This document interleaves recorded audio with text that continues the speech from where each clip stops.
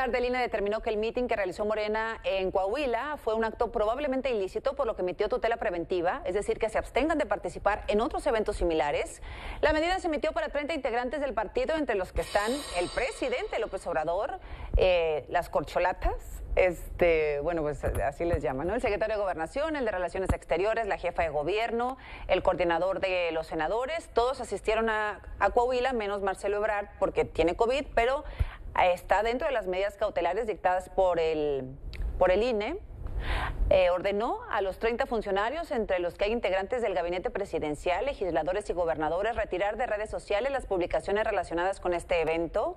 En caso de que reincidan, el tribunal podría impedirles el registro como candidatos. Mario Delgado, el dirigente de Morena, aseguró que impugnará la decisión ya que en el partido tienen la libertad de hacer actos políticos y asambleas como lo han hecho siempre.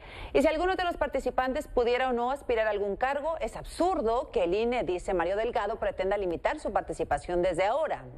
Aseguró que la decisión es ridícula y desproporcionada y que por eso es necesario ya la reforma electoral para que esta gente se vaya a competir, dice Delgado. Se deben de ir con el PAN o con el PRI para que les den una candidatura, pero no estar de hipócritas asumiéndose como árbitros electorales, pues se va a impugnar la decisión de el.